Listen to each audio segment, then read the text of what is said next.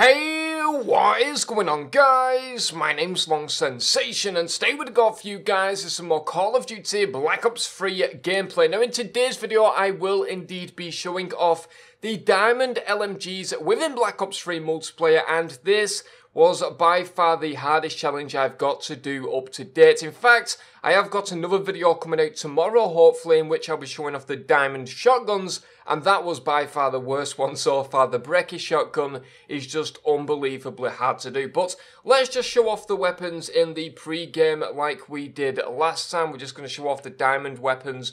Here's the Gordon. It looks pretty cool. I always call it the Gordon instead of the Gorgon for some reason. A little joke between me and my friends.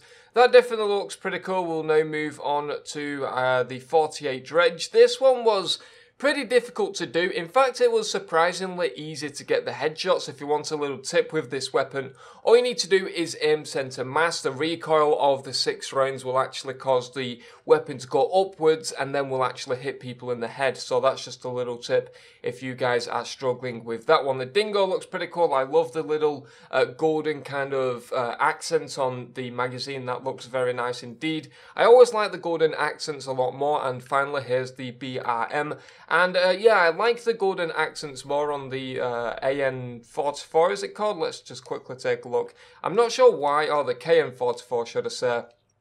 I always like the golden accents, like, look at the magazine and look at the stock and the grip. It just looks very cool, and I am slightly disappointed by Diamond Camo. I'm not particularly bothered that it is like this. A lot of people have been complaining that it looks uh, terrible and stuff like that. But me personally, I'm not too fussed. I just want to get this Dark Matter Camo, uh, which hopefully I'll be bringing you guys sometime early next week. It just depends on uh, getting the uh, pistols done, getting the knife done, getting, uh, what else have I got to do? The snipers, which are going to be incredibly difficult because I'm not a sniper person. But the launchers are nearly done. I've just got to take out two sentry guns and then I will hopefully be able to bring it to you guys. So I'm just going to quickly skip this pre-game lobby and I'll be back with you guys in just a second. Alright, so we are now back. We are indeed in hardcore to give you a bit of a better look at the weapons. The first one is the 48 Dredge. I do like this, but I would just like to see some more of that golden accent that I was talking about on the assault rifle, just on these black parts. Like, I'm not really sure why they've not done that in terms of, you know, putting it all gold or all diamond, but it kind of looks a little bit stupid when you've got things like that on it. Same with this uh, uh, dingo here is that I would like to see the stock at the front of the gun, like to the left there, as you can see the golden accent. It looks uh, pretty cool in my opinion. And this was the hardest LMG to do.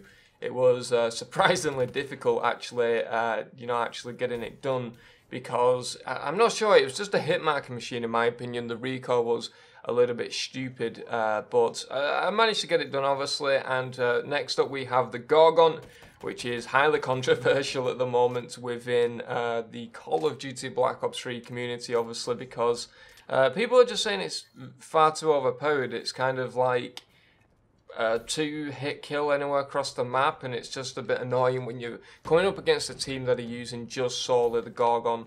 Uh, in my opinion anyway. But finally we now have the BRM. This one was pretty easy to do, uh, kind of a nice recoil pattern, kind of very accurate. And uh, the 48 dredge, by the way, if you want to get that gold straight away, just aim for the chest.